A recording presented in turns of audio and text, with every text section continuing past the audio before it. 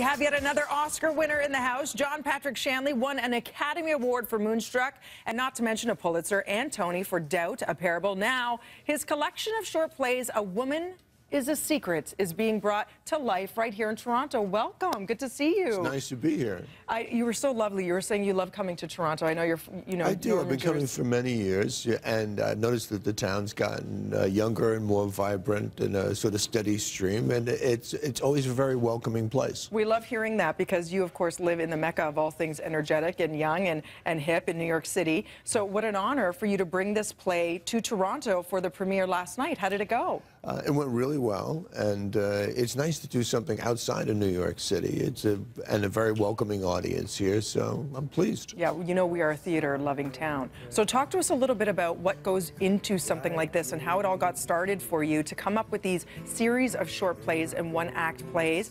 How does this come to be? Do you just start writing things and then develop it threads itself naturally that way? Well, I, uh, I came up here a few years ago to do something at the Lightbox, and I ran into a bunch of very nice actors, uh, and we had a couple of drinks, and I said, oh, let's do a show. And I ended up writing these six interrelated plays about women, uh, and called A Woman, a, a, Woman is a Secret, and uh, sent it to them, and they said, well, we're going to do it and uh, by God, they have done it. so how does it feel when you write this and then hand it over to a director? Do you get, I mean, you must feel like it's your baby that you're then allowing somebody to see through and execute. It's certainly an act of trust, uh, and I'm a very uh, intuitional person. And uh, I sensed that uh, these actors were very trustworthy and genuine in their impulse to do theater. So I gave them the place and never thought about it again until I got here. And talk to us about some of the music we're hearing. Yeah, that's the best way to go about it, clearly. Yeah, yeah well, Matthew Barber is doing the music and uh, he's he performing the music.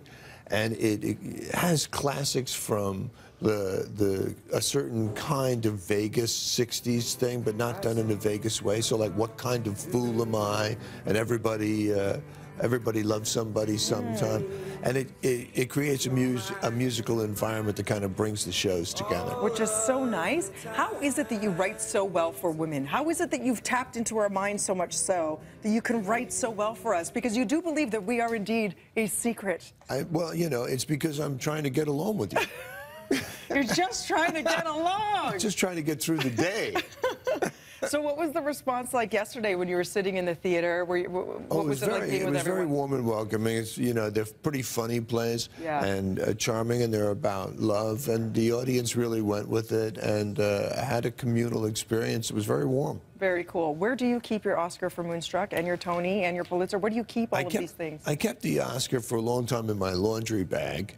Uh, and uh, now I figured, you know, it's time to get real about it. So I took it out and I have it on a little Good shelf for you. there. Admire it. You deserve it. You do beautiful work. And make Thank sure you. you see A Woman is a Secret. It's only a short run, my friend, so get to it. It's only on until April 5th, so it's a couple of weeks at the Theater Center. Check it out. Come back anytime. You are a delight. Enjoy our city. As are you. Thank Thank you so you. much. Right now, over to Carrie in traffic.